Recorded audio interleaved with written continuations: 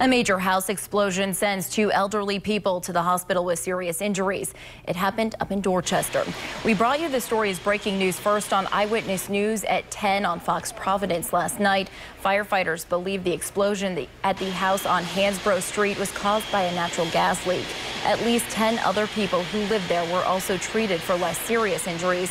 The house was blown off of its foundation and a house next door was also damaged.